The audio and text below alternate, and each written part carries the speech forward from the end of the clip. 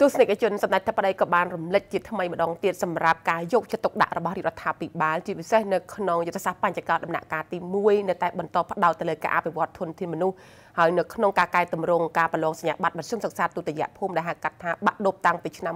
2014មកដល់ពេលនេះគឺមានការផ្លាស់ប្ដូរជាវិជ្ជមានពិសេសបើយើងធៀបការពីឆ្នាំដំបូងអ្នកដែលទទួលបាននិទេសអេត្រឹមតែប្រមាណជា10អ្នកតែប៉ុណ្ណោះ11អ្នកតែមកដល់ពេលនេះគឺមានការគុណឡើងទ្វេរហូតដល់ជាង1000អ្នក សម្ដេចតាប្តីបានថ្លែងបញ្ជាក់បន្ថែមទៀតថាលទ្ធផលនិទេសអេគឺជានិមិត្តរូបនៃភាពជោគជ័យដែលកើតចេញពីការខិតខំប្រឹងប្រែងរៀនសូត្ររបស់ក្មួយក្មួយផ្ទាល់និងស្នាដៃ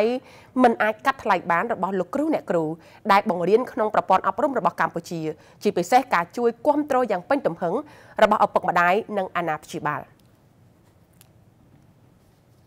រាជរដ្ឋាភិបាលនីតិកាលទី7បានដាក់ចេញនូវយុទ្ធសាស្ត្របញ្ចកោណដំណាក់កាលទី1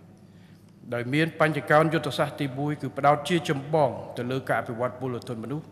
ដែលជាលក្ខខណ្ឌចាំបាច់មិនអាចខ្វះបាន សម្រាប់ជំរុញពិពិធកម្មកំណើនសេដ្ឋកិច្ចនិងការវិវត្តសង្គមសេដ្ឋកិច្ចជាតិប្រកបដោយបរិយាបន្ននិងភាពធន់នៅក្នុងន័យនេះរាជរដ្ឋាភិបាលផ្ដោតលើអតិភិបចំនួន5នៅក្នុងការកសាងមូលធនមនុស្សរឹងមាំរួមមានទី1ការពង្រឹងគុណភាពវិស័យអប់រំកីឡាវិទ្យាសាស្ត្រនិងបច្ចេកវិទ្យា ទី2ការបណ្ដុះបណ្ដាលជំនាញបច្ចេកទេស